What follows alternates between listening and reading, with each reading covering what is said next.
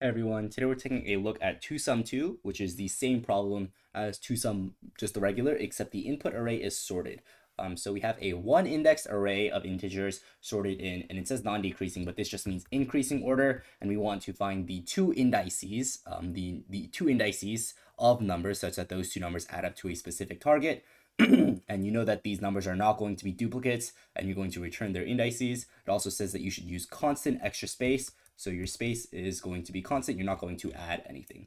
Now you have an input of numbers in the example, 2, 7, 11, 15 that you want to add up to 9. Um, you know that 2 and 7 add up to 9. And because you know that these are 1 indexed and not 0 indexed, uh, that means it's going to start at 1 and this next one is going to be 2. Hence, uh, you're going to return 1 and 2. But in reality, for the array, it's just 0 and 1. Now to solve this, we're going to take a look at a very powerful algorithm called two-pointer.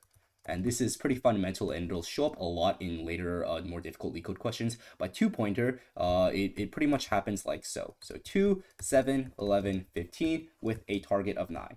So what you're going to do is you're going to set two pointers. Um, as the title, as the algorithm suggests, you will set a left pointer equal to the very beginning. Um, so you'll set it to the very first index, 2, and then you'll set a right index equal to the very last index, right.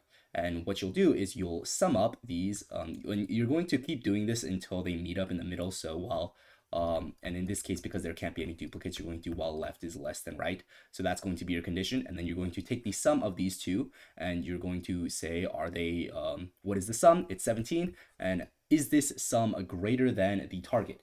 If yes, that means that uh, we are way too big. So if we were way too big, then we've got to move something to the left. We can't move left to the left because, you know, there's not much smaller that we can get. What we're going to do is we're going to move right to the left. So if the if the sum of left plus right is greater than target, then we're going to decrement right.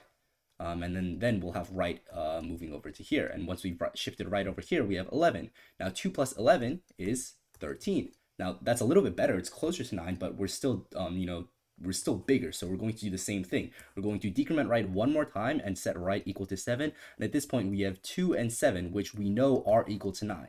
Thus, we can return these two indices, but remember, because it's one array, we're going to have to add 1 to each of them. So 2 plus, um, so sorry, it'll be 0 plus 1, so 1, and then 1 plus 1, 2. So this is, this is the actual solution that we're going to return. Let's take a look at the complexity. So for the time complexity, um, let's think about what we're really doing. All we're doing is iterating through this while loop is kind of the only time that we have going, the, the only thing that contains any sort of time that we have going on. And at the max, um, it's going to happen, you know, like uh, n times. It'll be linear. So O of n is going to be our time complexity and our space complexity as the question, you know, constraint has is constant. We're not creating any new arrays. All we're doing is having two pointers that iterate through this one array.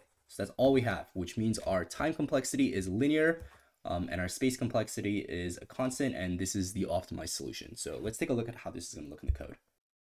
So the very first thing we're going to do is set a left um, index, this, this left pointer that is going to take a look at the very first index. Then we're going to set a right pointer that is going to take a look at the very last index, which is numbers.length minus one.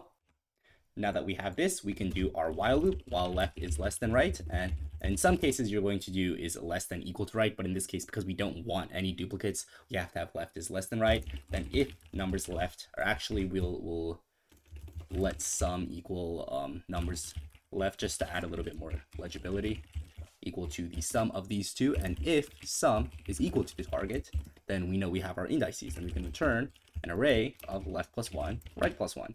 Um, and just so you know, this uh, array that we're returning doesn't add to the space complexity. Um, and it, even even if it did, it would still be constant because it's always going to be two indices that we're returning. So this array is always going to be of length two, which makes it constant no matter how big the um, actual numbers array is. Our array that we're returning is always just going to be two, so it doesn't affect the space complexity. Otherwise, if the sum is less than the target, then we're going to increment left. And finally, our last condition is going to be um, when sum is greater than the target, and we can just do uh, count that in the else statement, and we're going to decrement right. And at this point, um, because we're guaranteed a solution, we know that uh, this while loop is never going to end before this return loop um, doesn't you know before before this return loop works. So uh, because we're guaranteed a solution we can just have a return loop a return statement here without having a return statement outside this while loop. If we submit that then this should work and yep that's it